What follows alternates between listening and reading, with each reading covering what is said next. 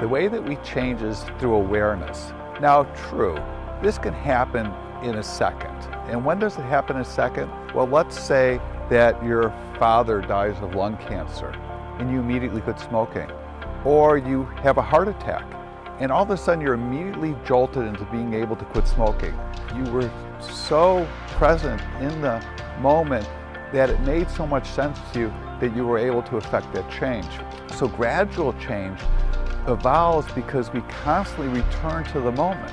When we return to the present moment over and over, we can calibrate and take inventory of what's going on in our bodies and our minds, and then we can adjust. We can be appreciative of what we're feeling.